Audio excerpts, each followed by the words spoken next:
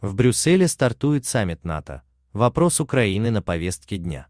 Канцлер Германии Ангела Меркель перечислила несколько тем, которые обсудят на саммите НАТО. Хотя мероприятие проходит без участия нашего государства, но вопрос Украины на повестке дня. Об этом сообщает CNN.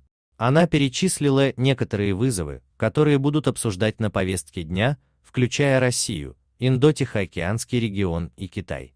Относительно Афганистана Меркель сказала, что лидеры обсудят, чего там удалось достичь, чему можно научиться и будущее. Концепции говорится в сообщении.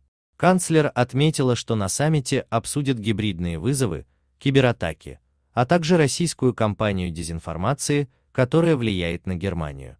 Ситуация в Украине и угрозы в Беларуси, где угрожают правам человека, также есть в повестке дня, сообщила Меркель. Напомним, в понедельник в Брюсселе стартует саммит НАТО, который впервые пройдет с участием Джо Байдена в качестве президента США. Встреча проходит в узком кругу, Украину на нее не пригласили, хотя Киев очень рассчитывал на присутствие.